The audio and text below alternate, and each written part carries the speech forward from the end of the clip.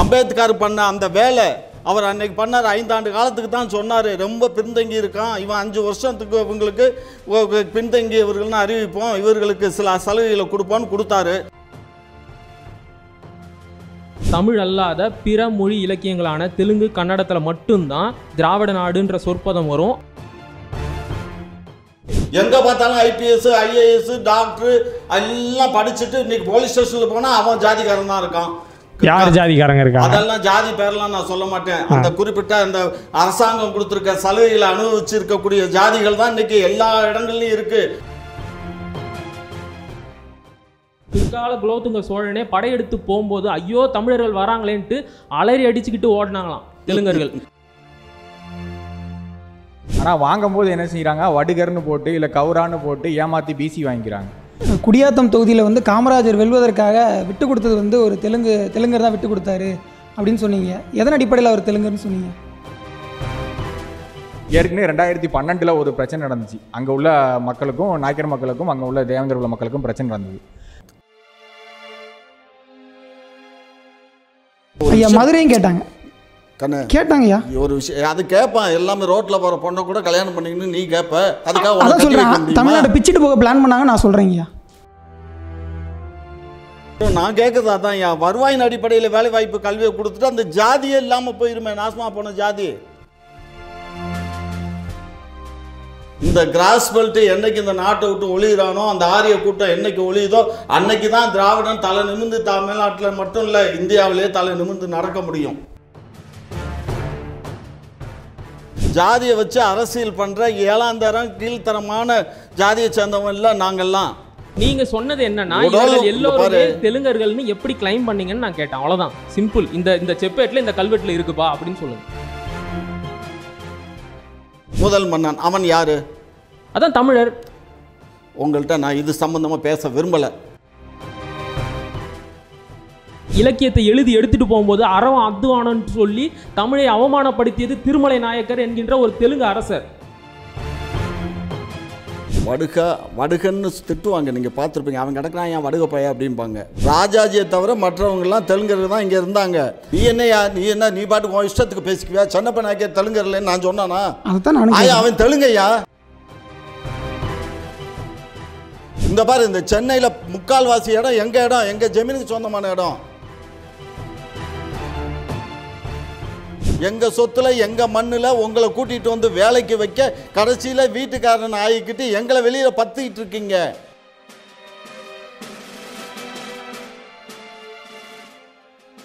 எட்டிப்போ இதோ புலி வருகுது திட்டத்தால். அடாவடி ஒழிகுது சித்தத்தில் மனோபலம் வருகுது மொத்தத்தில். அதோ பகை அழியுது துடிக்குது புஜம்.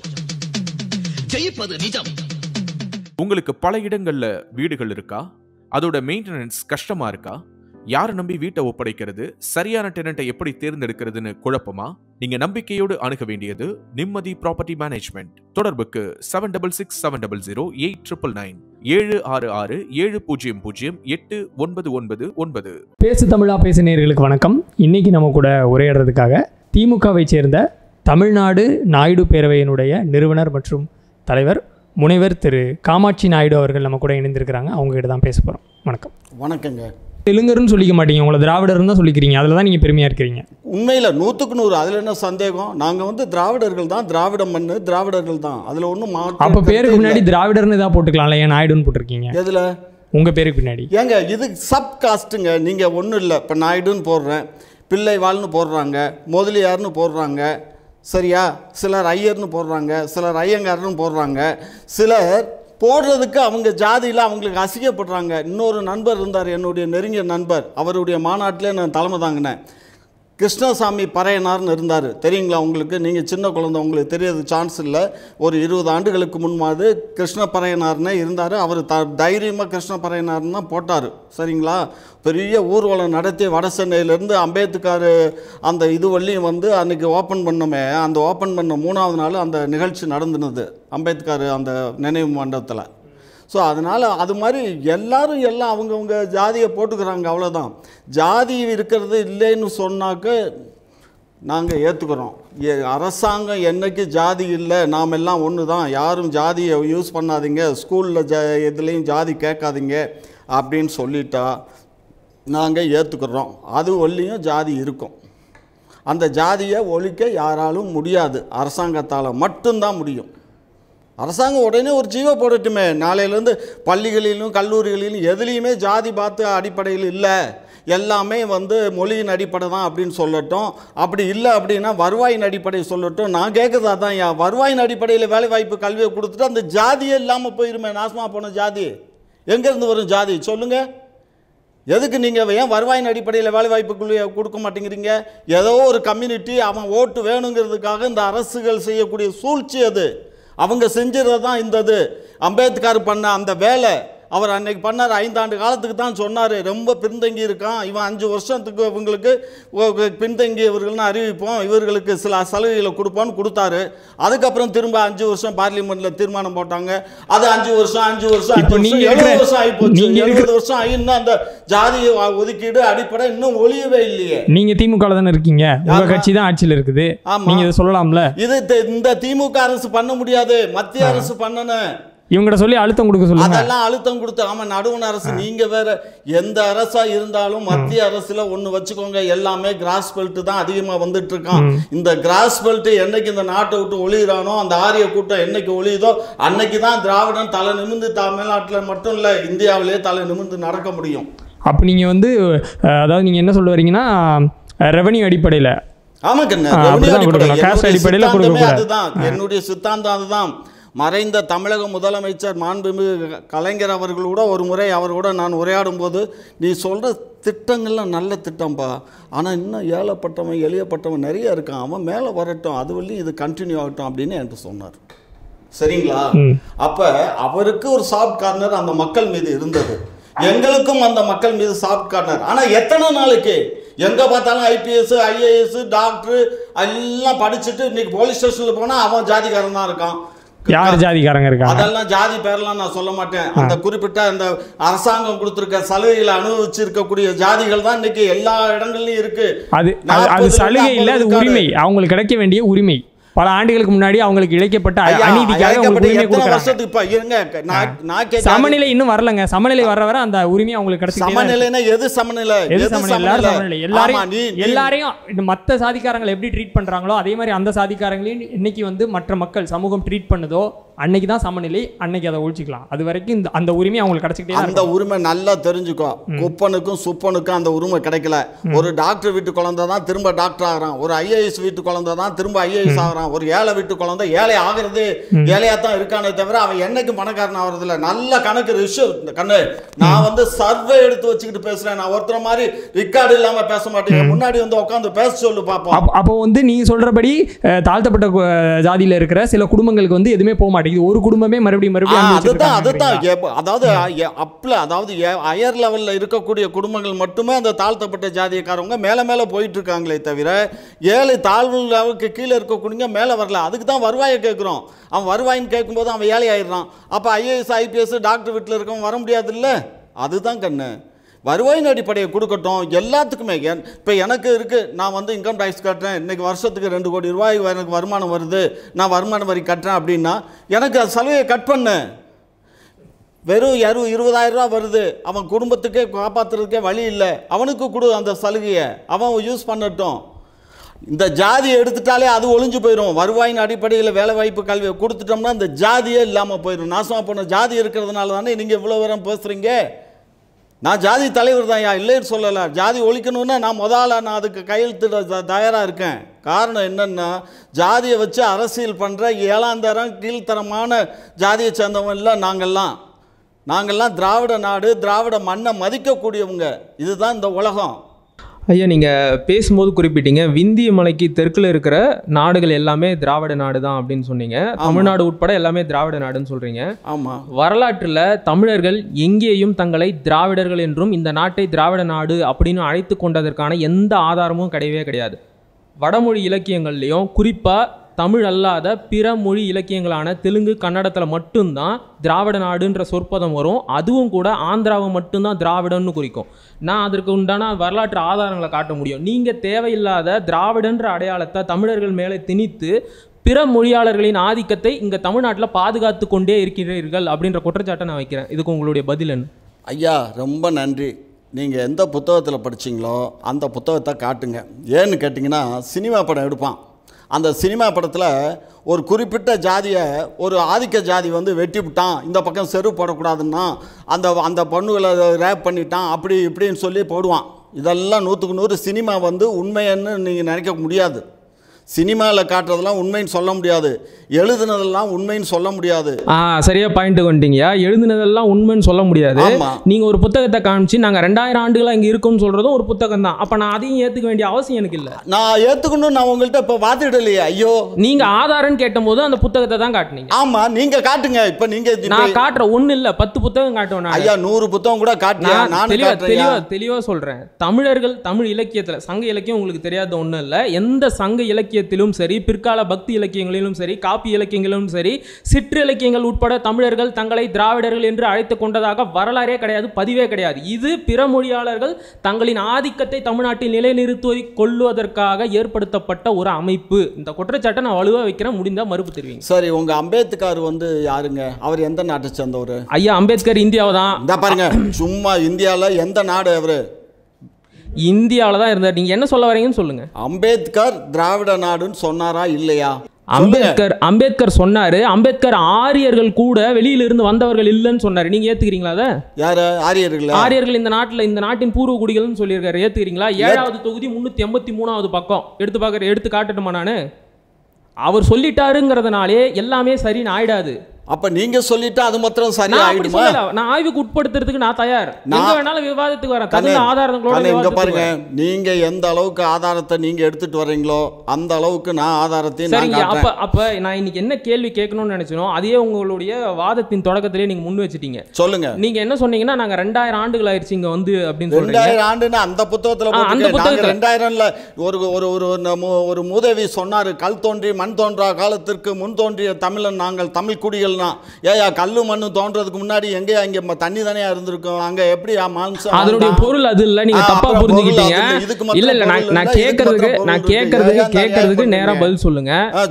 நீங்க வந்து ஒரு பேட்டியில சொல்றீங்க. கிபி இரண்டாம் நூற்றாண்டிலிருந்து தமிழகத்தை ஆண்டவர்கள் எல்லோருமே பிற மொழியாளர்கள் அப்படின்னு சொன்னீங்க. குறிப்பா சோழர்கள் உட்பட பிற மொழியாளர்கள்னு சொல்றீங்க. எதன் அடிப்படையில? அவர்கள் பிற மொழியாளர்கள் குறிப்பா தெலுங்கர்கள்னு கிளைம் பண்றீங்க. எப்படி? என்ன ஆதாரம்? ஆதாரம்னா நான் ரத்தத்தை தான் காட்ட முடியும். நான் பயோ. பயோ டெக்னாலஜி எல்லாம் கேட்கல. நான் டிஎன்ஏ டெஸ்ட் எல்லாம்? கேட்கல. டிஎன்ஏ டெஸ்ட் எல்லாம் கேட்கல. கல்வெட்டு பதிவு செப்பேடு. இங்க பாருங்க செப்பேடுகள் நூற்றுக்கணக்கான செப்பேடுகள். என்ன செப்பேடு? நான் ஒரு செப்பேடு சொல்லட்டுமா? ராஜராஜ சோழன் வெளியிட்ட இல்லை ராஜேந்திர சோழன் வெளியிட்ட திருவாலங்காட்டு செப்பேட்டில் அவருடைய தந்தையான ராஜராஜ சோழனுடைய பட்டப்பெயர்களில் ஒன்று தெலுங்கு குலகாலன் தெலுங்கு குலத்திற்கே யமன் போன்றவன் அப்படின்னு பேர் அது பொருள் அதற்கு. கலிங்கத்து பரணியில் தமிழர்கள் குலோத்துங்க சோழன் பிற்கால குலோத்துங்க சோழனே படையெடுத்து போகும்போது ஐயோ தமிழர்கள் வராங்களேன்ட்டு அலறி அடிச்சுக்கிட்டு ஓடினாங்களாம். தெலுங்கர்கள். இப்போ இதுக்கெல்லாம் ஆமா இல்ல இப்ப நீங்க சொல்றீங்களே சிரிப்பு தான் வருது. ஏன்னு கேட்டா ராஜராஜ சோழன் தெலுங்கர்களை வந்து வெட்டி சாய்க்கணும்னு நினைச்சான்னு சொல்றீங்களே அப்புறம் எப்படி அவருடைய பொண்ணை வந்து வெங்கி நாட்டு இளவரசனுக்கு எந்த வேங்கி நாட்டு மன்னனுக்கு- அரசருக்கு எந்த? வேங்கி நாட்டு அரசருக்கு கீழே சாளுக்கியர்களுக்கா மேலை சாளுக்கியர்களுக்கா? தன்னோட நட்பா இருந்தவங்களுக்கு அவர் தான் உயிரையே கொடுக்கறது கூட தயாரா இருந்த அரசர் சரிங்களா? அதற்குண்டான வரலாற்று நீங்க ஒரு புத்தகம் காமிச்சிங்களா எனக்கு நேரம் கொடுத்தீங்கன்னா நான் ஒரு புத்தகத்தை இப்போ உங்க கண்ணு முன்னாடி எடுத்து காட்ட முடியும். இப்போ நீங்கள் ஒரு விஷயம் நல்லா புரிஞ்சுக்கோங்க. இந்த தெலுங்கர்கள் மன்னர்கள் நாய் எல்லாருமே எப்படி அது ஃபார்ம் ஆகுதுங்கிறது அது பேசிக் தெரியுமா உங்களுக்கு? சொல்லுங்க நான் தெரிஞ்சுக்கிறேன். ஒரு நாட்டின் மேல இன்னொரு மன்னன் படையெடுக்கும்போது அந்த நாடு தோல்வியுற்று போனால் அந்த நாட்டில் இருக்கக்கூடிய வயது பெண்கள் இருந்தால் அந்த மன்னனுக்கு அந்த பெண்ணை திருமணம் செய்து கொடுத்து அந்த நாட்டுக்கு அவனை மருமகனாக ஏற்றுக்கிட்டு அவங்களுக்கு நாங்கள் கப்பங்கட்டி வர்ற பழக்கம் உண்டு. அப்படி இல்லைன்னா பொண்ணை கட்டி கொடுத்துட்டு அந்த நாட்டை அவனே ஆண்டுகிட்டு இருப்பான். இதுதான் அந்த காலத்து நடந்தது. அது தெலுங்கு வீட்டு பொண்ணாகவும் இருக்கும் முஸ்லீம் வீட்டு பொண்ணாக இருக்கும். எந்த வீட்டு பொண்ணாக இருந்தாலும் கட்டிக்குவான். இதை நீங்கள் மறக்க முடியுமா? நான் அதை மறுக்கவே இல்லை. நட்புறவர்களுக்காக அவர்கள் பல குளங்களிலிருந்தும் குடிகளிலிருந்தும் பிற மொழி இனத்திலிருந்தும் பெண்ணெடுத்து திருமணம் செய்து கொண்டார்கள். இது எல்லாமே தங்களுடைய நட்புறவிற்காக. அதை நான் மறுக்கல. ஆனா நீங்க சொன்னது என்னன்னா எல்லோருமே. தெலுங்கர்கள்னு எப்படி கிளைம் பண்ணீங்கன்னு நான் கேட்டேன். அவ்வளவுதான். சிம்பிள் இந்த இந்த செப்பேட்ல இந்த கல்வெட்டுல இருக்குப்பா அப்படின்னு சொல்லுங்க.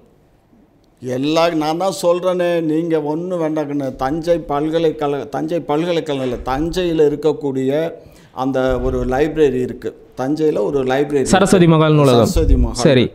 அந்த சரஸ்வதி மஹாலில் நீங்கள் போய் அந்த அங்கே இருக்கக்கூடிய புத்தகங்கள்லாம் பாருங்க. எந்த புத்தகத்தை பார்க்கணுங்கய்யா புத்தகம்லாம் நான் கண்ண எல்லா புத்தகத்துலேயும் அங்கே வந்து உங்களுக்கு சான்ஸ்கிரிட் ஐயா இப்படி இப்படி சொல்லுங்க. அதுங்க பாருங்க. நீலகண்ட சாஸ்திரியார் எழுதின சோழர்கள் இரண்டு பாகமா? தீவை சதாசிவ பண்டாரத்தார் எழுதிய பிற்கால சோழர் சரித்திரமா? இல்ல மா ராஜமாணிக்கனார் எழுதின சோழர் சரித்திரமா? இல்ல தஞ்சை தமிழ் பல்கலைக்கழகம் வெளியிட்ட சோழர் செப்பேடுகளா? இல்ல புலவர் தெய்வநாயகம் வெளியிட்ட சோழர் வரலாறா? ஏதாச்சும் ஒண்ணு சொல்லணும். இல்லை நேற்றைக்கு புதிதாக வெளிவந்த ரா மன்னர் மன்னன் எழுதிய ராஜராஜ சோழன் வரலாறு. எதில் அவங்க தெலுங்கர்னு சொன்னாங்க. இந்த இந்த மன்னர்கள் இந்த புத்தகங்கள் எல்லாம் தெலுங்கர்களை. அவங்க முன்னிறுத்தலை. முன்னிறுத்தலை. தெலுங்கர்களே அவங்க முன்னிறுத்தலை. ஏன்னா அவங்கெல்லாம் தமிழ் குடியை சார்ந்தவங்க. இப்போ இருக்காங்களே நாங்கெல்லாம் தமிழினியம் பேசிக்கிட்டு ஒரு ஜா ஒரு ஜாதி இல்ல இல்ல. மன்னிக்கணுங்க. இங்க மன்னிக்கணும். புரியல. சொல்லுங்க. தெளிவா சொல்லுங்க. தெளிவா சொல்லுங்க. இவங்களெல்லாம் தமிழ் குடியை அதாவது புத்தகங்கள் எழுதுனது எல்லாமே வந்து எல்லாம் புரட்டத்தான் எழுதி வச்சிருக்கானே தவிர உண்மை செப்பேடு செப்பேடுகள் இருக்குல்ல நீங்கள் ஒரு விஷயம் எழுதிக்கோங்க. செப்பேடுனா என்ன? யார் அங்கே நடந்த நிகழ்ச்சியில் யார் எழுதுறா? ஒரு மன்னன் எழுதணும். மன்னன் வெளியிட்ட செப்பேடு இருக்கா? சொல்லுங்க. மன்னன் மன்னர்கள் கொடுத்த தானத்திற்கான ஆதாரமே செப்பேடு தான் மன்னர்கள் எழுதின மன்னர்கள் இங்க பாருங்க இந்திரா காந்தி அம்மையார் கூட ஒரு நாட்டுல ஒரு செப்பேடு எழுதி எல்லாத்தையும் சரி செப்பேடு போய். செப்பேடு போய் நாம அதை ஒதுக்கிடுவோம். கல்வெட்டு? கல்வெ- சவுத் இந்தியன் இன்ஸ்கிரிப்ஷன் எடுத்து படிக்கலாமா? எத்தனை வால்யூம் வேணும்? எத்தனை வால்யூம் வேணும். எத்தனை வால்யூம் வேணும்? எத்தனாவது வால்யூம்ல எத்தனாவது நம்பர் கல்வெட்டுல உங்களுக்கு நான் எடுத்துக்காட்டு அதெல்லாம் கத்துக்கிட்டு வரல. நான் வந்து எம்ஏ சரித்திரம் படிச்சவன் தான். நீங்க நினைக்கிற மாதிரி நீங்க வந்து நாங்க- டாக்டர் நாங்கெல்லாம் நீங்க வந்து முனைவர் பட்டம் வாங்கணும் முனைவர் பட்டம் வாங்கியிருக்கோம். ஆனால்? நான் இதில் வாங்கல. நான் வந்து எதில் வாங்கியிருக்கேன்? நான் முகலாயால தான் ஹிஸ்ட்ரியில் தான் நான் வந்து முனைவர் பட்டம் பெற்றிருக்கோம். சரி. எம்ஏல படித்தது வந்து நானும் இதான் தென்னிந்திய வரலாறும் வட இந்திய வரலாறு அதையும் பன்னாட்டு உறவு அப்போ வந்து ஏஎஸ்ஐ வெளியிட்ட சவுத் இந்தியன் இன்ஸ்கிரிப்ஷன் ஆகட்டும் எபிகிராபிகா இண்டிகா ஆகட்டும் உங்களுக்கு தெரிந்திருக்க வாய்ப்பு இருக்குது. எந்த எபிகிராபிகா எந்த சீரியஸ்ல சோழர்கள் பிற்கால சோழர்கள் தெலுங்கர்கள்னு சொல்லியிருக்காங்க. எத்தனாவது கல்வெட்டு நம்பர்? அவ்வளவு மட்டும் சொல்லுங்க இது என்னத்த நீ கல்வெட்டு எல்லாம் க- விஜயாலய கொஞ்சம். பொறு. விஜயாலய சோழன் யாரு? விஜயாலய சோழன் பிற்கால சோழ சாம்ராஜ்யத்தை தோற்றுவித்த முதல் மன்னன். முதல் மன்னன். அவன் யாரு? அதான் தமிழர். உங்கள்கிட்ட நான் இது சம்பந்தமா பேச விரும்பல. நான் சொல்றேன் அவன் தமிழ் மன்னன். எப்ப நீங்க விஜயாலய சோழன் வந்து தமிழ் மன்னன் சொன்னீங்களோ? எப்படி இல்லைன்னு நீங்க சொல்றீங்கன்னு சொல்லுங்க. என்ன? இங்க வாரிசு இல்லாம போச்சு. வெறும் பெண் குழந்தைகள் தான். வாரிசு இல்ல இங்க சோழ மன்னனுக்கு. இந்த வாரிசு இல்லைன்ன உடனே அவன் வந்து மகளோட மகன். விஜயாலய யாரு? சோழன் விஜயாலய சோழன் வந்து விஜயாலய சோழனுடைய அப்பா பேர் என்ன? யாருடைய சோழன் விஜயாலய சோழனுடைய அப்பா பேர் என்ன? அதெல்லாம் எனக்கு தெரியாது கண்ணு. ஐயா ரெண்டு பேர் இருக்கு. சரிங்களா? ஒன்று வந்து கண்டரதேவன் சரிங்களா? அவங்களும் யார் தெரியுமா? பொத்தப்பி தெலுங்கு சோழர்கள்னு சொல்லுவாங்க. ஆனால் ஒருபோதும் அவங்க கூட தங்களை தெலுங்கர்கள்னு அடையாளப்படுத்திக்கிட்டதே கிடையாது. அவங்க தங்களை கரிகால சோழனின் வாரிசாக தான் கிளைம் பண்ணிட்டாங்க. இன்னொன்று அவருடைய அப்பா பேர் ஒன்றியூரன். அந்த ஒன்றியூர் எங்கே இருக்குன்னு நான் சொல்லட்டுமா? அதுவும் தமிழ்நாட்டில் தான் இருக்குது இவங்க பிற்காலத்தில் பெண் கொடுத்து பெண் எடுத்தாங்க. அவங்க எல்லாருமே தெலுங்கர்கள் தான். இந்த கிளைமே தப்பு. நீங்கள் எப்படி சொல்கிறீங்கன்னு சொல்லுங்கள் அவ்வளோதான் நான் அது எப்படி இதை தப்புன்னு சொன்னேன். ஏயா இங்க பெண் வாரிசு தான் இப்போ ஆண் வாரிசு இல்லாதனால பெண்ணை கட்டி கொடுத்தா அவங்களுக்கு ஆண் குழந்தை பிறந்தது. அந்த ஆண் குழந்தையை கொண்டுட்டு வந்து தான் விஜயாலய சோழனுக்கு இங்க பட்டம் என்ன ஆதாரம் கேட்டேன். செய்யுளா செப்பேடா கல்வெட்டா? கல்வெட்டு இருக்கு செப்பேடு இருக்கு. செப்பேடு கல்வெட்டெல்லாம் நான் தூக்கிட்டு வந்து உன்கிட்ட காட்ட முடியாது இது வரைக்கும் செப்பேடு. எந்த சோழ சரித்திரத்திலையும் இப்படி ஒரு பதிவு நான் சோழ படிச்சதில்ல சரித்திரம் பூரா நீங்க புரட்டு தானே நீ எல்லாம் பாப்பான இல்ல எனக்கு புரியல. நீங்க ஒரு புத்தகம் காமிக்கிறீங்க அது உண்மைன்னு சொல்றீங்க. நான் ஒண்ணு சொன்னா உண்மையில அது எல்லாம் எதையும் பொய் இப்போ ஒரு புத்தகம் நீங்க நான். உண்மையை சொல்லலையே. தயவு செஞ்சு புரிஞ்சுக்கணும். எந்த ஒரு புத்தகமாக இருந்தாலும் எல்லாமே அவர்கள் கதைக்காக அவங்க இப்போ ஒன்றும் வேண்டாம் கண்ணு கல்கியில் நம்ம நம்ம கல்கி இவர் இருக்கார்ல அவர் கிருஷ்ணமூர்த்தி வந்து ஒரு புத்தகம் எழுதினார். சரிங்களா? அந்த புத்தகத்தை இப்போ சினிமா எடுத்துக்கிட்டு இருக்காரு நம்மளுடைய நண்பர் எடுத்துக்கிட்டு இருக்காரு. இப்போ அது உண்மையான கதையா? அது ஒரு கற்பனை தான் உண்மையான வரலாற்றை தழுவி கற்பனை எழுதுனது. பாருங்க ராஜராஜ சோழன் சினிமா படம் எடுத்தாங்க. அது உண்மையானதா? ஒரு நூ ஒரு அதை அதை வந்து ஒரு கரு வச்சுக்கிறாங்க கண்ணு. அதை அப்படியே டெவலப் பண்ணி அவங்க கொண்டு போகிறாங்க ஒரு வரி ஒரு வரியை வச்சு டெவலப் பண்ணுறாங்க அது மாதிரி தான் இந்த மன்னர்கள் அதாவது சோ அதாவது கண்ணு சோறு போட்டாலே இந்த புலவர்கள்லாம் அந்த காலத்தில் என்னன்னா சோத்துக்கு சோரம் போகிற பசங்க தான். வேற வழி இல்லை தமிழ் புலவர்களை ரொம்பவும் இழிவா கொச்சையா பேசுறீங்க. என்னத்த கொச்சையா பேசுறது? எந்த தமிழ் புலவன் எவன் சந்தோஷமா வாழ்ந்தான்? எல்லாமே வறுமை கோட்டு இங்க வந்து இங்க வந்து ஆள்றாங்கன்ற ஒரே மரியாதைக்காக கூலப்ப நாயக்கன் காதல்னு ரொம்பவும் மரியாதையாக இலக்கிய நயத்தோட ஒரு இலக்கியத்தை எழுதி எடுத்துட்டு போகும்போது அறவம் அத்துவானன்னு சொல்லி தமிழை அவமானப்படுத்தியது திருமலை நாயக்கர் என்கின்ற ஒரு தெலுங்கு அரசர். நீங்க அவமானப்படுத்திட்டு அதை மாத்தி எழுதுனதுக்காக ஒரு விஷயம் நீங்க நல்லா? புரிஞ்சுக்கோங்க. அதுல நேத்தி கூட நான் ஒரு இதுல கேட்டேன்.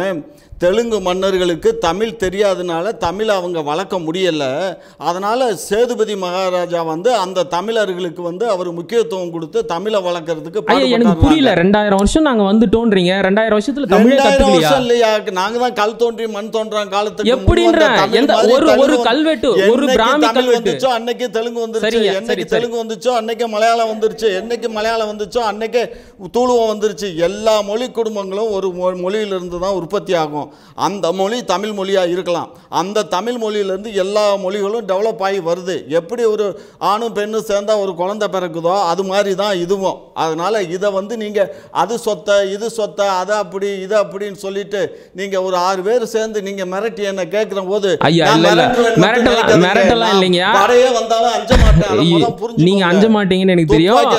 ஏகே ஃபார்ட்டி செவனை வச்சு முன்னாடி நின்றா கூட சுட்டு பாடுறான் நெஞ்ச காட்டுற பரம்பரையில் வந்தவன். நான் ஒன்றும் ரோட்ல தெரியுற குப்பனோ சுப்பனோ கிடையாது. முதல் அதை முடிவு பண்ணிக்கோ. நான் யாரையும் மிரட்ட விரும்பல. வளைச்சு வளைச்சு கேள்வி கேட்கலாம் யாரையும் மிரட்டல. அது என்னுடைய நோக்கமா இல்ல. உங்ககிட்ட இருந்து நீங்க? சொன்ன விடயத்துக்கு ஆதாரம் வேணும்னு கேக்குறேன் நானு. ஆதார் ஆதாரம் நீ எனக்கு ஆதாரத்தை கல்வெட்டு ஆதாரம் இருக்குன்னு சொல்றீங்கல்ல கொண்டுட்டு வாங்க. நான் தான் சொல்றேன் நீங்க நேரம் கொடுத்தீங்கன்னா இப்ப நான் ஒரு புத்தகம் உங்ககிட்ட பாரு நான் இந்த புத்தக ஆதாரங்களே நான் நம்ப மாட்டேன். அப்ப number செ- சொல்லுங்க. பாருங்க செப்பேடு இருக்குல்ல செப்பேடு ஆதாரத்தை கொடுங்க. செப்பேடு ஆதாரத்தை நான் நம்புறேன். அதை விட்டுட்டு சும்மா அப்படி இப்படின்லாம் கதை சொல்லக்கூடாது. தமிழ்நாடு நாயுடு பேரவைன்னு வச்சுருக்கீங்க. அதில் வந்து எஸ்டி மக்களான காட்டு நாய்க்கரை சேர்த்துக்குவீங்களா அவங்களும் நாய்க்கர் தானே அவங்கள வந்து உங்கள் அமைப்பில் சேர்த்துக்கிட்டீங்க தம்பி நீங்கள் இன்னும் என்னை பற்றி சரியாகவே புரிஞ்சுக்கல. காட்டு நாய்க்கருங்கிறவங்க யாருங்கிறீங்க? நாய்க்கர் தான். நான் அதான் அதான் கேட்குறேன் அதான் வந்து உங்கள் அமைப்பில் ஐம்பத்தி ஏழு நாயுடு பிரிவுகள் இருக்காங்க. அந்த ஐம்பத்தேழு நாயுடு பிரிவுகளில் காட்டு நாயக்கர் இருக்காங்க பவளக்கார நாயக்கர் இருக்காங்க வளையல் நாயக்கர் இருக்காங்க வளையல் செட்டியார் இருக்காங்க கம்மாவார் இருக்காங்க கவரா இருக்காங்க விளமா இருக்காங்க கொல்லா இருக்காங்க டோபி இருக்காங்க. எல்லா நாய்க்கரும் வந்து நாங்கள் சேர்த்துக்கிறோம். ஒட்ட நாய்க்கர் இருக்காங்க. அதனால் ஐம்பத்தேழு நாய்க்கர் பிரிவையும் நாங்கள் ஒன்று சேர்த்துருக்கோம். அதில் இன்னொரு விஷயம் என்னன்னா இந்த ஐம்பத்தேழு ஜாதியும் நாயுடுன்னு அறிவிக்கணுன்ட்டு தமிழக முதல்வருக்கு கோரிக்கை வைக்க போகிறேன் அதான் ஹைலைட்டு அதாவது சப்காஸ்ட் இருக்கும். சப்காஸ்ட் இருக்கும். இப்போ ஒரு ஒருத்தருக்கு என்ன இப்போ அவர் காட்டு நாயக்கர் வந்து மோஸ்ட் இதில் இருக்கார். ஷெட்யூல் ட்ரைப்ஸில் வராரு அவர் ஷெட்யூல் ட்ரைப்ஸில் வர்றத நாயுடுன்னு தான் ஃபார்வேர்டுக்கு போயிடும். அப்போ அவருக்கு எதுவும் கிடைக்காம போயிடும். அதனால் அவருடைய கம்யூனிட்டி இருக்கும். ஆனால் அவருக்கு பட்டம் நாயுடு பட்டம். சரிங்களா கண்ணு? அதனால் எல்லா நாயுடும் இருப்பாங்க. இதில் எங்களுக்கு கருத்து வேறுபாடு இல்லை. செஞ்சியில் முந்தா நாள் மீட்டிங் நடந்தது. என் மொபைலில் இருக்க ஓப்பன் பண்ணி பாருங்கள் செஞ்சி நா செஞ்சி நாய்க்கரை பற்றி உங்களுக்கு தெரியும்ல? அவங்களுடைய வாரிசு தான் செஞ்சியில் இருக்காங்க. நேற்றுக்கு அங்கே ஒருத்தர் கவுன்சிலரை ஜெயிச்சு வந்திருக்காரு. நேற்று பாராட்டு கூட்டம். பிரம்மாண்டமான கூட்டம். போயிட்டு வந்தான். இப்போ தூத்துக்குடி விருதுநகர் திண்டுக்கல் மதுரை ராமநாதபுரம் மாவட்டங்கள்லாம் வந்து பலிஜா நாயுடுவும் சரி கமவார் நாயக்கரும் சரி ஆனால் வந்து தமிழக அரசு ஜாதி பட்டியலில் முற்படுத்தப்பட்ட பிரிவில் இருக்காங்க. ஆனால் வாங்கும்போது என்ன செய்கிறாங்க வடுகர்னு போட்டு இல்லை கவுரான்னு போட்டு ஏமாற்றி பிசி வாங்கிக்கிறாங்க. இது வந்து பிற்படுத்தப்பட்ட பிரிவில் இருக்கிற மற்ற ஜாதிகள் இந்த இடஒதுக்கீடு நீங்கள் பறிக்கிறது வந்து தப்பாக இருக்குங்களா இது தவறாக தானே இருக்குது. கம்மவார் வந்து வடுகர்னு போட்டுக்கிறாங்களே. கண்ணு நீங்கள் அப் அப்படி நினைக்க வேண்டிய அவசியம் இல்லை கண்ணு. வடுகுன்னா யார்? கம்மான்னா யார்? வடுகர் அப்படின்னா அங்கே வட இந்தியாவிலேருந்து வந்த ஒரு அந்த இதுதான் சொல்கிறாங்க வடுகுங்கிறது தெலுங்கு மொழியைத்தான் வடுகு மொழி வடக்கு இல்ல, வடக்கு மொழி. அதான். பாருங்க சில விளக்கங்கள் நான் உங்களுக்கு சொல்கிறேன் வடுகா வடுகன்னு திட்டுவாங்க. நீங்கள் பார்த்துருப்பீங்க அவன் கிடக்குறான் என் வடுக பையன் அப்படிம்பாங்க. வடுக பையன்னா வடுகு பேசக்கூடியவனுக்கு பேர் வடுகன். தெலுங்கு மொழி பேசக்கூடியவன். அதனால் வடுகன்னு போட்டு வாங்குறதுல என்ன தப்பு இருக்குது இல்லை கல்யாண மண்டபமாக இருக்கட்டும் சங்கமாக இருக்கட்டும் கம்மவார் நாயுடு கம்மவார் நாய்க்கர் தான் வச்சிருக்கீங்க. ஆனால் வடுகர்னு மட்டும் பேக்வேர்டு போட்டு வாங்கிட்டீங்கன்னா மற்ற ஜாதியோட இடஒதுக்கீடை பறிக்கிறீங்கல்ல இப்போ நாங்கள் நாயுடுன்னு போடுறோம். இன்னொரு ஐம்பது வருஷம் கழிச்சு நீங்கள் நாயுடு தானே நீங்கள் எப்படி கவரான்னு போடலாம் நீங்கள் எப்படி கம்மான்னு போடலாம்னு கூட கேள்வி கேட்பீங்க. இல்லை நாயுடுங்கிறது பட்டம் தானே. நான் கம்மவாருங்கிற ஜாதி பேர் தான் சொல்லேன் கம்மவார் பலிஜாங்கிற ஜாதி பேர் தான் அது. ஒன்றும் அதாவது அப்படியெல்லாம் நீங்கள் நினைக்க வேண்டிய அவசியம் இல்லை. அப்படி நினச்சிங்கன்னா எந்த ஜாதியுமே யாருமே இருக்க முடியாது. இல்லை கோயில்பட்டியில் வாங்குறாங்க. கோயில்பட்டியில் கம்மவார் வந்து வடுகர்னு போட்டு பிசி போட்டு வாங்கிக்கிறாங்க. அதுதான் வந்து இப்போ கண்ணு அவனை தப்பு கண்ணு. அவன் பிசி போட்டுக்கூடாது அவன் என்ன போட்டிருக்கணும்? திராவிடன்னு போட்டிருக்கணும். ஆதி திராவிடன்னு போட்டிருக்கணும். அவன் போட்டதே தப்பு. நான்லாம் ஆதி திராவிடன்ல வர்றேன். அது தெரியுமா உங்களுக்கு?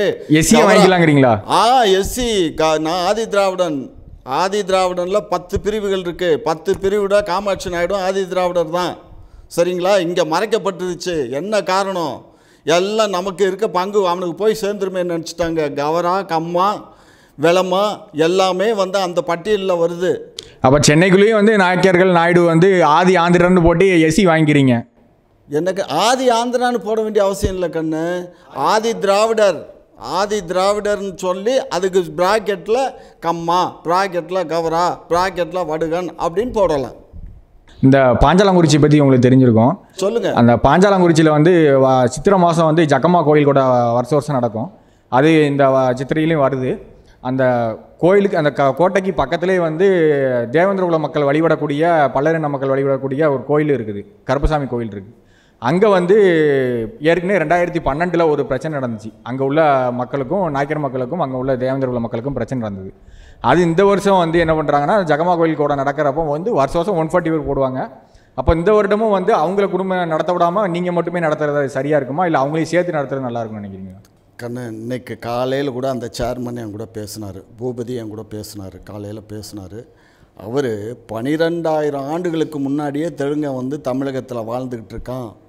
நீங்கள் அடுத்து சொல்லும்போது இதெல்லாம் நீங்கள் ரெக்கார்ட் பண்ணுங்கள் கண்ணு. பனிரெண்டாயிரம் ஆண்டுகளுக்கு முன்னாடியே தெலுங்கன் இருக்கிறதா யார் சொல்கிறா ஜக்கம்மா கோயிலினுடைய சேர்மன் முருகபூபதி என்கிட்ட காலையில் கைபேசி மூலியமாக சொன்னார். இன்னும் நேரடியாக வந்து உங்களுக்கு இதெல்லாம் எழுத்துப்பூர்வமாக எல்லாமே ரெக்கார்டை நான் உங்களுக்கு கொடுக்குறேன்னா நீங்கள் அந்த டிபேட்டில் எல்லாம் உட்காந்து பேசுங்கன்னு சொல்லியிருக்காரு.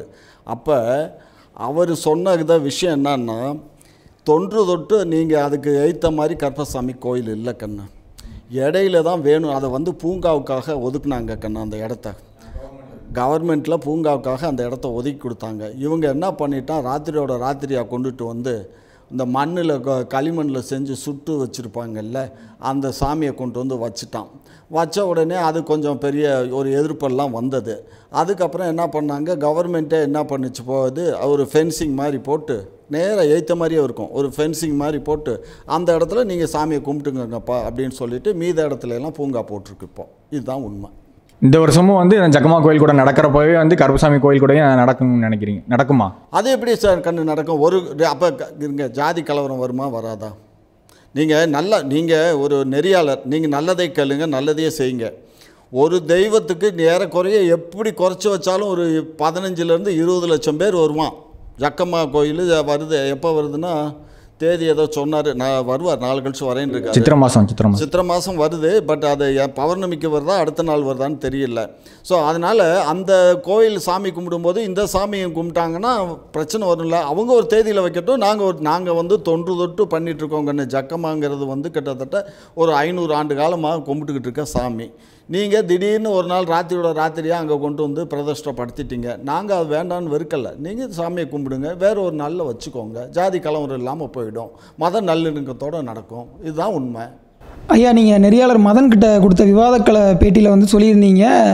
இந்த மாதிரி குடியாத்தம் தொகுதியில் வந்து காமராஜர் வெல்வதற்காக விட்டு கொடுத்தது வந்து ஒரு தெலுங்கு தெலுங்கர் தான் விட்டு கொடுத்தாரு அப்படின்னு சொன்னீங்க. எதன் அடிப்படையில் அவர் தெலுங்கர்னு சொன்னீங்க? ஏ ராஜகோபால் நாயுடு தெலுங்கர் இல்லாமல் தமிழரா? ராஜகோபால் நாயுடு எங்கே இருந்தாருங்கய்யா? எது? ராஜகோபால் நாயுடு எங்கே இருந்தாருங்கய்யா? எங்கே இருந்தாருன்னா நான் என்ன பதில் சொல்கிறது குடியாத்தத்தில் அவர் எம்எல்ஏவாக இருந்தாருன்னு சொல்ல வரீங்களா? யார்? ராஜகோபால் நாயுடு. எம்எல்ஏ இல்லை அவர். ராஜகோபால் நாயுடு குடியத்த பதவி விலகினது ஒரு தெலுங்கர்ன்ற மாதிரி சொல்லியிருந்தீங்க. அது உண்மையான்னு கேட்டேன் வேற இல்லை உண்மைதான். அதான் யாருங்க? அது பேர் தெரியல. ஏஜே அருணாச்சல முதலியார்னு ஒருத்தர் பதவி விலகினார். அவர் வந்து ஒரு செங்குந்த கைக்கொளர் முதலியார்ன்ற சமூகத்தை சேர்ந்தவர். அவங்க தமிழர்கள். நீங்கள் எப்படி தெலுங்கர்கள்னு சொல்லலாம்னு அவங்க கேட்குறாங்க கண்ணு இது ஒரு விஷயம் நல்லா புரிஞ்சுக்கோங்க. ராஜகோபால் நாயுடு அவர் வந்து அந்த தொகுதியில் இருந்த எம்எல்ஏவை அவர் தான் ஜெயிக்க வச்சு எம்எல்ஏவை ஆக்குனது. அவர் தான் அவரை ராஜினாமா பண்ண சொல்லி திரும்ப காமராஜர் அங்கே நிற்க வச்சு முழுக்க முழுக்க அவர் தான் பணம் செலவு பண்ணி அவர் ஜெயிக்க வச்சது ராஜகோபால் நாயுடு தான். பதவி விலகினது அருணாச்சல முதலியார் தான். அவர் தமிழர் தான். உங்களுக்கு எந்த மாற்று கருத்தும் இல்லை. இல்லை இல்லை இல்லை. அடுத்து பூந்தமல்லி நாயக்கர்கள் அதாவது சென்னையை வந்து வெள்ளக்காரங்களுக்கு கொடுத்த சென்னப்ப நாயக்கர்கள்லாம் வந்து தெலுங்கர்கள் சொல்லியிருந்தீங்க எதன் அடிப்படையில். எது? சென்னப்ப நாயக்கர் பூந்தமல்லி அதெல்லாமே நாயக்கருடைய கட்டுப்பாட்டுலாம் இருந்துச்சு. அவங்களாம் தெலுங்கர்கள்னு சொல்லியிருந்தீங்க. எதன் அடிப்படையில் சொல்லியிருந்தீங்க? எதன் அடிப்படை என்ன கண்ணு? இதுதான் சரித்திரம் கண்ணு. சரித்திரத்தில் நீங்கள் ஏங்க சென்னப்ப நாயக்கருங்கிறது இந்த சென்னை பட்டணமே சென்னப்ப நாயக்கருடையது தான் நான் மறுக்கலைங்க. சென்னப்ப நாயக்கருடைய தான் ரெண்டாவது பூந்தமல்லியில் அவங்க அங்கே அங்கே ஆட்சி வந்து அப்போ பூந்தமல்லியில் சப் டிவிஷன் அங்கே ஒரு சப் ஆட்சி இருந்தது. செஞ்சியில் ஒன்று இருந்தது. காஞ்சிபுரத்தில் ஒன்று இருந்தது. காஞ்சிபுரத்தில் இருந்தது கொஞ்சம் காலம் பல்லவர்கள்லாம் வேறு ஆண்டுகிட்டு இருந்தாங்க கிட்டத்தட்ட பல்லவர் ஒரு ஆண்டு ரெண்டு ஆண்டில் கிட்டத்தட்ட ஐநூறு ஆண்டு காலம் பல்லவர்கள் ஆட்சி புரிஞ்சிருக்காங்க காஞ்சிபுரத்தில். அதுக்கப்புறம் நாயக்க மன்னர்கள் வந்திருக்காங்க. கண்ணு நான் வந்து நாயக்க மன்னர்களை மேலே தூக்கி வச்சு கீழே மற்ற இனத்தை வந்து கீழே போட்டு மிதிக்கணுங்கிற எண்ணத்தில் நான் இங்கே வந்து உட்காரலை. நான் தான் உயர்ந்த ஜாதி மற்றவங்கெல்லாம் தாழ்ந்த ஜாதின்னு நான் சொல்ல வரல. நீங்கள் ஒரு விஷயத்தை நல்லா புரிஞ்சுக்கோங்க. எல்லாமே மனிதர்கள். எல்லாமே மனிதர்கள். சொல்லுங்கள் நீங்கள் சொல்கிறீங்க வந்த வந்தவாசி நாயக்கர்கள் வந்து தெலுங்கர்கள்னு சொல்ல வரீங்க. ஆனால் வராகீஸ்வரர் தலைவரலாறில் தெளிவாக இருக்குது அவங்க தமிழ் வன்னியர்கள்னு. எதன் அடிப்படையில் அவங்க தெலுங்கர்னு சொல்கிறீங்க இப்படி சொல்லி சொல்லியே திருவள்ளூர் அதுக்கப்புறம் முன்னாடி உள்ள சித்தூர் எல்லாத்தையுமே ஆந்திரா கொடுத்த மாதிரி சென்னையையும் நீங்கள் ஆந்திரா கொடுக்க திட்டம் போடுறீங்கன்னு எனக்கு தோணுது. கண்ணு நீ சரித்திரம் படிக்க நீ பிறக்கல. ஆயிரத்தி தொள்ளாயிரத்தி இல்லை. ஆயிரத்தி தொள்ளாயிரத்தி ஐம்பத்தேழில் என்ன நடந்துச்சு? இது சென்னை மாகாணம் சென்னை மாகாணத்துக்கு பிரதம மந்திரி தான் இருந்தாங்க. எல்லாமே தெலுங்கு தான். ஒரே ஒருத்தர் ராஜாஜியை தவிர எல்லாருமே தெலுங்கு ராஜாஜி தான். இல்லை ராஜாஜி தெலுங்கர் இல்லை. ராஜாஜியை தவிர மற்றவங்கெல்லாம் தெலுங்கர்கள் தான் இங்கே இருந்தாங்க. அதே நேரத்தில் அதுக்கு முன்னாடி வந்து பொட்டி ஸ்ரீராமலுங்கிறவர் உண்ணாவிரதம் இருந்து ஆந்திராவெல்லாம் தனித்தனியாக மொழிவாரி ராஜ்யங்கள் பிரிக்கப்படணும்னு அந்த ஆள் உயிர் விட்டுட்டாரு உயிர் விட்ட பின்னாடி நேரு என்ன பண்ணார்? சரி இது எதுக்கு வேண்டாத வேலை? அங்கங்கே அந்தந்த பெருவாரியான மக்கள் வாழ்கிற பகுதியில் பிரித்து அவங்க கையில் கொடுத்துருவோன்னு சொல்லிவிட்டு அவங்க இந்த சென்னை மாகாணத்தை பிரிக்கிறாங்க. அப்படி பிரிக்கப்பட்ட போது சென்னைக்கு தலைநகர் வந்து எதை வச்சுக்கிறது? ஆந்திராவுக்கு எது தலைநகராக வைக்கிறதுங்கிற பிரச்சனை ஓடிக்கிட்டே இருக்குது ஒரு வாரம் பத்து நாளாக பதினஞ்சு நாளாக கடைசியாக வந்து என்ன பண்ணிடுறாங்க? கூவத்துக்கு வடக்க இருக்கிறது வந்து ஆந்திராவும் கூவத்துக்கு தெற்க இருக்கிறதும் தமிழ்நாடும் அப்படின்னு சொல்லி பேசிடுறாங்க. பனகல் ராஜா சொன்னபடி. பனகல் ராஜா சொன்னபடி. அது எந்த ராஜா சொன்னாரோ பனங்கல் ராஜா சொன்னாரோ அப்புறம் நீ இருந்தியா பக்கத்துல? தெலுங்கு முதல்வர் நீங்கள் சொல்கிற ஆந்திரர் இல்ல, முதல்வர் அதுதான் நீ பனங்கல் ராஜா தெரியுமா உங்களுக்கும் ப- பனங்கல் ராஜாவை நான் படிச்சு தான் இருக்கேன். நான் அவர் கூட பழகலை பேசலை அவர் கூட படுத்து எந்திரிக்கல. சரியா? ஆகையினால இது ஒரு விஷயத்தை நல்லா புரிஞ்சுக்கணும் நீங்கள் ஆந்திரா வந்து தலைநகர் வந்து வட சென்னை தென் சென்னை தமிழ்நாட்டினுடைய பகுதி அப்படின்னு முடிவாச்சு.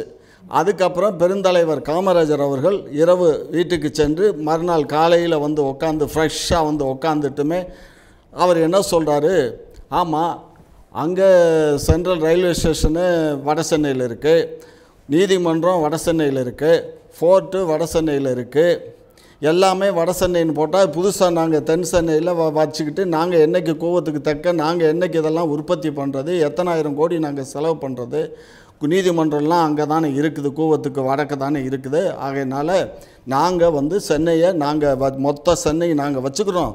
மற்ற எந்த பகுதியை நீங்கள் கேட்டாலும் நாங்கள் கொடுத்துட்றோன்னு சொல்கிறாரு நல்லா புரிஞ்சுக்கோங்க. அந்த கமிட்டியில் உட்காந்துருந்த ஆட்களில் ஒருத்தர் இருக்கார். எனக்கு அவர் சொன்ன வார்த்தை என் காதுபட கேட்டது. அப்படின்னு சொன்னார். அதுதான் அதுக்கப்புறம் ஏன்னா காமராஜருக்கும் நேருவுக்கும் இருந்த ஃப்ரெண்ட்ஷிப்பில் நேருக்கும் காமராஜருக்கு இருந்த ஃப்ரெண்ட்ஷிப்பில் அவர் நேருக்கு காமராஜர் என்ன சொல்கிறாரோ அதைப்படியே நேரு நடந்து இல்லை சென்னை ஆந்திரா கொடுக்கறதுக்கு நீங்கள் ஆதரவாக இருந்தீங்கன்னு நான் சொல்கிறேன் எனக்குன்னு சென்னையை ஆந்திரா கொடுக்கறதுக்கு ஆதரவாக இங்கே இருந்து தெலுங்கர்கள் இருந்தாங்கன்னு நான் சொல்கிறேன் நானா? இங்கே இருந்து தெலுங்கர்கள் இருந்தாங்கன்னு சொல்ல வரேன் ஆதரவாக இருந்தாங்கன்னு சொல்ல வரேன் ஏன் இருந்திருக்கலாமே? அது வந்து நான் தப்புன்னு சொல்ல முடியாது. தெலுங்கர்கள்னு சொல்லாதீங்க. அதாவது அப்போ எல்லாம் வந்து இது சென்னை பிரசிடென்சி கண்ணு. சென்னை பிரசிடென்சிங்கிறது எல்லா மொழிக்காரவங்களும் இங்கே வாழ்ந்தாங்க. நீங்கள் சே தமிழ்நாடு வந்து அதுதான் கண்ணு. தமிழ்நாடை வந்து நான் ஏன் திராவிட நாடுன்னு நாங்கள் சொல்கிறோம் பிச்சுக்கிட்டு போகிற சொல்லியிருக்கீங்க பாஞ்சாலங்குறிச்சி எல்லாம் அவன் கேட்டிருக்காங்க. பாஞ்சாலங்குறிச்சி எப்படிங்க ஆந்திரா கொடுக்க முடியும்? பாஞ்சாலங்குறிச்சி எங்கே இருக்கு? கேட்டா பாஞ்சாலங்குறிச்சி ஆந்திராவுக்கு? கேட்குறாங்க அவங்க ஆந்திரர்கள் கேட்குறாங்க தங்குதுரி பிரகாசம் கேட்குறாரு யாரு பிரகாசம் கேட்டா ஆமா. எந்த பிரகாசம்? தங்குதுரி பிரகாசம். காங்கிரஸ் உடைய முதல்வராக இருந்தார் இல்லைங்க? அவர் கேட்குறாங்க ஆமா. அவர் கேட்டுக்க மாட்டார். ஏன்னா அவருக்கு வரைபடத்துல எங்க வந்து இது பாஞ்சாலங்குறிச்சி இருக்கு. ஒரு ஒரு இடம் கேட்டாக்கன்னு ஒரு மதுரையும் கேட்டாங்க. கண்ணு. கேட்டாங்கய்யா. ஒரு விஷயம். அது கேட்பான் எல்லாமே ரோட்ல போற பொண்ணை கூட கல்யாணம் பண்ணிக்கணும் நீ கேட்ப அதுக்காக அதான் சொல்கிறேன் முடியுமா? தமிழ்நாட்டை பிச்சுட்டு போக பிளான் பண்ணாங்க நான் சொல்கிறேங்கய்யா அது நீ சொன்னா அது உண்மையாயிடுமா தங்கம்? நான் நான் கேட்கறது பாரு. திருத்தணி சித்தூர் மாவட்டத்துக்கு பக்கத்தில் இருந்துச்சு. அது அவங்க சித்தூர் கூட சேர்ந்து இருந்தது அப்போ இவர் மாப்போ சிவிஞானம் பண்ண வேலை நல்லா புரிஞ்சுக்கோ. மாப்போசி வந்து தமிழ் அறிஞர். அவர் தமிழ் த தமிழ் அரசு கட்சின்னு ஒன்று க கட்சி ஐயா அந்த நடத்தி வரலாறுக்கு வேணாம். நான் என்ன கேட்குறேன்னா இவன் நீங்கள் வந்து சென்னப்ப நாயக்கரை தெலுங்குன்னு நிறுவுறது மூலமாக இது தெலுங்கு பூமி சென்னையின் வேர் தெலுங்குன்னு நிறுவ நினைக்கிறீங்க. அதனால தான் நீங்கள் ஒரு பொய் சொல்லி சென்னப்ப நாயக்கரை தெலுங்குன்னு சொல்ல வரீங்க. சரிதானே? கண்ணு நாயக்கர் நாயக்கர் நீங்க வன்னிய நாயக்கர் வேற நீங்கள் வேற. ரெண்டுத்தையும் மிக்ஸ் பண்ணாதீங்க. அதைத்தான் நான் சொல்ல வரேன் நாயக்கருங்கிறவர் வேற நாய்க்கருங்கிறவர் வேற. நாங்க நாய்க்கர் இல்ல நாங்க நாயக்கர். அவங்க தெளிவாக சொல்கிறாங்க வன்னியர்னு தெளிவாக சொல்கிறாங்கய்யா யார் வன்னியர் வன்னியர்னு எதுக்கு சொல்ற? அப்ப நீ நாய்க்கர்னு சொல்ல வேண்டியதானே எதுக்கு வன்னியர்ன்ற? வன்னியர்களுக்கு பட்டம் என்ன. சொன்ன? நீங்க நம்ம எப்படி நாயுடுன்னு சொல்லலாம்? அப்படியெல்லாம்? அப்படியெல்லாம் கேட்கலைங்க அவர் இடஒதுக்கீடை பற்றி கேட்டார். நான் கேட்குறது வன்னியர்களுடைய பட்டம் தான் நாயக்கர் அவங்க போட்டு அதன் அடிப்படையில் தான். ஆனால் நீங்கள் எல்லாமே சொல்லுவீங்க நாயுடு. அவங்க எல்லாமே தெலுங்கர்கள் சொல்லுவீங்க. அவங்களுடைய தாய்மொழி எப்படி தெலுங்காகும் இங்க பாருங்க. சொல்லுங்கய்யா. தாய்மொழி தெலுங்குன்னு நாங்க சொல்லல. சொல்லலை? சொல்லல. வன்னி எங்க என்ன என்- நீ என்னையா நீ என்ன நீ பாட்டுக்கு உன் இஷ்டத்துக்கு பேசிக்குவியா? சென்னப்ப நாயக்கர் தெலுங்கர்லன்னு நான் சொன்னானா. அவன் தெலுங்கையா? நீ என்ன சென்னப்ப நாயக்கர் அவர் தெலுங்கர்லன்னு சொல்ல முடியுமா? எத்தனை பத்திரிக்கையில் இருக்கு? எத்தனை இதில் இருக்கு? ஹிஸ்ட்ரியில் இந்த பாரு இந்த சென்னையில் முக்கால்வாசி இடம் எங்கள் இடம்? எங்கள் ஜமீனுக்கு சொந்தமான இடம். அது தெரியுமா? பெரியவளும் ஜமீனுக்கு இங்கே இடம் இருக்குது வட வடையில் வடக்கு பக்கத்தில் இருக்கக்கூடிய அத்தனை பேருக்கும் இங்கே நூறு ஏக்கரா இரநூறு ஏக்கரா இருந்துச்சு. சும்மா இல்லை. எல்லாருமே அந்த காலத்தில் பிரிட்டிஷ்காரன் இந்த ஜமீன்களுக்கு பூரா இதை கொஞ்சம் கொஞ்சமாக நீ நூறு ஏக்கரை வச்சுக்கோ நூறு நூறு ஏக்கரை வச்சுக்கோன்னு எழுதி கொடுத்துட்டு போனான். இன்னொன்று கூட நான் எடுத்துகிட்டு வரேன் விட்டுட்டேன் கண்ணு. ஒரு பட்டயம் ஆயிரத்தி எழுநூறு ஏக்கரா ஒரு பட்டயம் போட்டு கொடுத்துருக்கான் பிரிட்டிஷ்காரன். நீங்கள் வச்சுக்கோங்கன்னு சொல்லி எங்களுக்கு நாக்கியிருக்கு புரியுதா? அதனால் இங்கே இருக்க சொத்து பூரா எங்கள் சொத்து? எங்கள் சொத்துல எங்கள் மண்ணில் உங்களை கூட்டிகிட்டு வந்து வேலைக்கு வைக்க கடைசியில் வீட்டுக்காரன் ஆகிக்கிட்டு எங்களை வெளியில் பற்றிக்கிட்டு இருக்கீங்க. இதுதான் உண்மை. இல்ல இல்ல உங்க சொத்து இல்ல இல்ல உங்க சொத்துன்றீங்க வெள்ளக்காரன் கொடுத்தான்றீங்களே அதான் முரண்பாடா இருக்கு. உங்க சொத்துன்றீங்க ரெண்டாயிரம் வருஷமா இங்க இருக்கிறன்றீங்க ஆனா வெள்ளக்காரன் நிலம் கொடுத்தான்றீங்க. ஆமாம் கண்ணு எல்லாத்தையும் வெள்ளைக்காரன் பிடி அடிச்சு பிடிங்கிட்டான்ல துப்பாக்கி முனையில் எல்லாத்தையும் அவன் பிடிங்கிட்டான். இங்கே பாருங்க பிரிட்டிஷ்காரன் என்ன பண்ணான் அவன் நாட்டுக்கு இங்கே வந்தான்ல திப்பு சுல்தானுக்கு அப்புறம் இங்கே உள்ளே வந்தான்ல திப்பு சுல்தானுக்கு பின்னாடி வந்தவன் பூரா டிக்ளேர் பண்ணிட்டான். ஒன் டே அந்த கவர்னர் என்ன பண்ணிட்டான்? எல்லா லேண்ட்ஸும் வந்து எல்லா ஹவுசஸும் வந்து கவர்மெண்ட்டுக்கு சொந்தம். இன்றைக்கி கூட இந்த கட்டடம் கூட கவர்மெண்ட் கேட்டால் நாளைக்கே கொடுத்து தான் அவனை முடியாது நீ சொல்ல முடியாது. அந்த அளவுக்கு தான் இந்த இந்திய அரசியல் அமைப்பு சட்டம் போட்டிருக்கான். அந்த பிரிட்டிஷ்காரன் போட்ட சட்டம் இன்றைக்கு வரும் கண்டினியூ ஆகுது. புரிஞ்சுக்கோ. இன்னைக்கு நான் அந்த எட்டு வழி சாலைக்கு இடம் கொடுக்க போனாங்களே என்னமா இவங்க மறைச்சு பார்த்தாங்க. அங்கே போகிறோம் இங்கே போகிறோம்னாங்க ஒன்றும் பண்ண முடியாது. கவர்மெண்ட்டு கேட்டால் கொடுத்து தான் ஆகணும். புரியுதுங்களா? அதனால் அன்னைக்கு பிரிட்டிஷ் கவர்மெண்ட் எடுத்துக்கிடுச்சு. எடுத்துக்கிட்டு இந்த ஜமீனுகள்லாம் நாங்கள் கிளைம் பண்ணாங்க. கிளைம் பண்ணும்போது சரி நீங்கள் ஒரு நூறு ஏக்கரை வச்சுக்கோ நீ நூறு ஏக்கரை நீ ஒரு ஆயிரம் ஏக்கரை வச்சுக்கோ அப்படின்னு சொல்லி அவன் தான் பிரித்து கொடுத்துட்டு போனான். இன்னும் ஒன்று சொன்னால் தெரியுமா உங்களுக்கு? மேற்கு தொடர்ச்சி மலையில் நிறைய இன்றைக்கி இருக்க ஏலக்காய் தோட்டங்கள்லாம் இருக்குது பாருங்கள் அதெல்லாம் பிரிட்டிஷ்காரன் கம்பெனியாக வச்சுக்கிட்டு இருந்ததான் டீ எஸ்டேட்டு இப்போ இந்த அம்மா ஆட்டை போட்டு வச்சுருக்குதுல ஊட்டியில். அந்த டீ எஸ்ட்டு கூட பிரிட்டிஷ்காரன் டீ எஸ்டேட்டு தான். எதுவுமே நமக்கு சொந்தம் இல்லை. எல்லாமே பிரிட்டிஷ்காரனுக்கு சொந்தம். இந்த ரெக்கார்ட்ஸ் ரெக்கார்ட்ஸ் இந்த இது எதுவுமே வர்றதுக்கு முன்னாடி இந்த நிலம்லாம் யாருக்கு சொந்தமா இருந்தது? எந்த இடம்? நீங்க சொல்ற. இப்ப பேச வேண்டிய அவசியம் இல்ல இது எப்படிங்கய்யா எப்படி? அந்த நிலத்தோட பூர்வ குடிகள் அவங்க பூர்வகுடி பதினேழு பேர்த்த கொண்டுட்டு வந்து வச்சனே நாக்கு ஆயா கூட்டு வந்து வச்சான் நீங்க யாருங்க ஐயா கூட்டு வந்து யாரை வைக்கிறதுக்கு? கூட்டிட்டு அந்த ஊர்ல விவசாயம் பண்றதுக்காக வேற ஊர்ல இருந்து பதினேழு பேர்த்த மட்டும் கூட்டிட்டு வந்து குடிசை போட்டு அங்க குடி இருக்கின்ற. இங்க இருந்த பூர்வ சும்மா குடிகளில் என்னவா இங்க இருந்த இருக்க? பூர்வ குடிகளில் புரியாம நிலத்தை. பிடுங்கினது யாரு எது இங்க இருந்த பூர்வ பூர்வகுடி யாரு பூர்வகுடி ஏயா கல் தோண்டி மண் தோன்ற யார நீங்க யார கோவில் கட்ட யாரு? நீங்க யார கோவில் கட்ட அனுமதிக்கலையோ. அவங்க தான் பூர்வகுடி நீங்க யார கோவில் கட்ட அனுமதிக்கலையோ அவங்க தான் பூர்வகுடி.